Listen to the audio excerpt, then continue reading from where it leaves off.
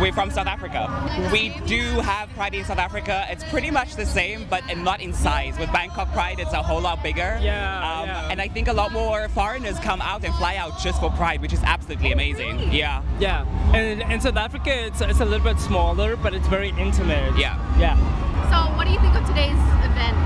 Well, I'm really excited. This is my first uh, Bangkok Pride. So I've been in Bangkok for almost two years, and uh, this is my first one. So I'm really excited. It's my second time here, and the first time I had a blast.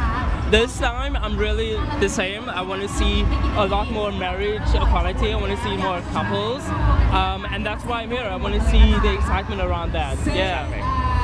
So,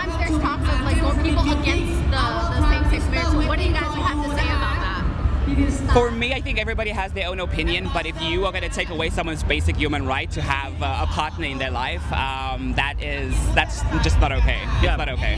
It's 2024. Get over it. Get over it. Um, everybody has a choice to love who they want to love and get married to who want to get married. And who are you to tell us no? Exactly. exactly.